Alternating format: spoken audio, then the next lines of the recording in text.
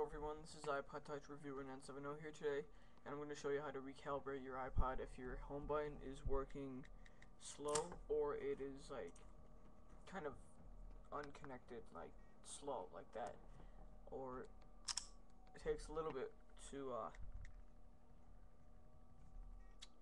takes a little bit of time. So first you want to go into stocks. Uh, so I don't know why. Um, hold on your power button it says slide to power off. Now hold down your home button for um, like until it um, closes out of the app. And there you go. Your home button works a lot faster now. It just recalibrates everything and makes it a lot faster.